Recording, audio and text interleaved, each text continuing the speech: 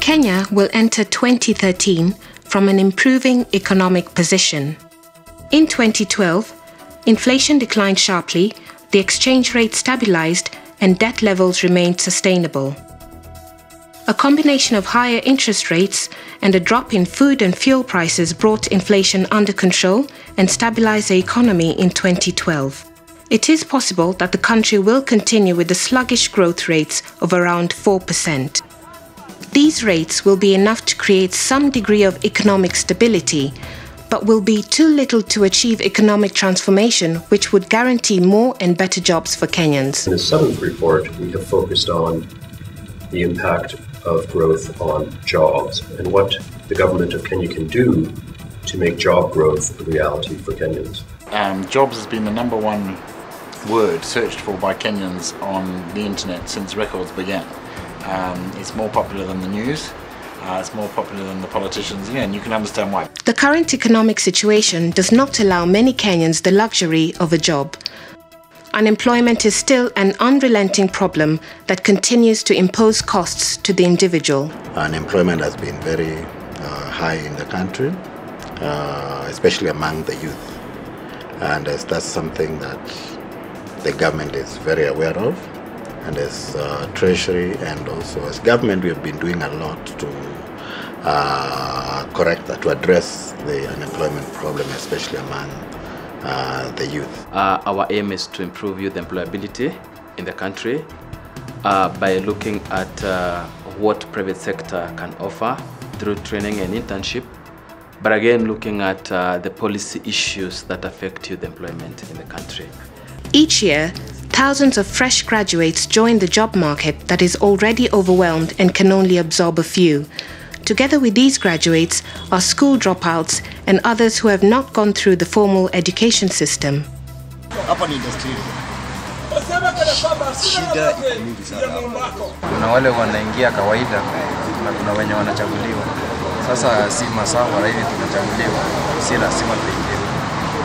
For those looking for the opportunity to earn a living, each day is a struggle, another chance to try again. It is tedious and disappointing for many and has disillusioned many to the level of giving up. Hapa huwa tunaamuka kila asubuhi, tunakuja hapa kusubiri kazi, lakini kazi yenyewe huwa haionekani, na akionekana tunapewa kama shilingi mia mbili ishirini ama mia mbili hamsini kwa, kwa siku. Sasa unaona kama umehitimu kitu kama electrical, kitu kama hiyo, mechanical, kitu kama hizo, hizo vitu hazisaidii hapa.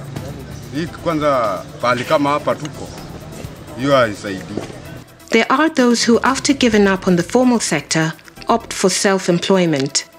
Others choose self employment after being forced out of the job market by factors like low remuneration, exploitation, verbal abuse, etc.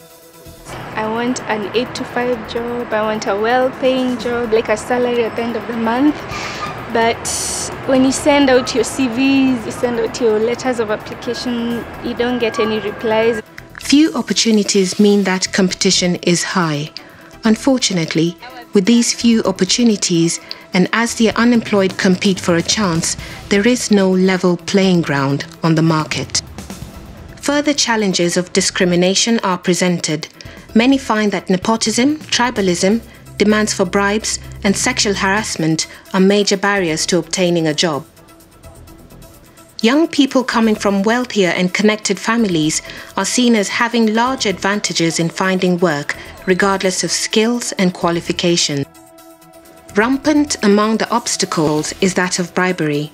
The more competitive the vacancy, the higher the amount of bribe demanded.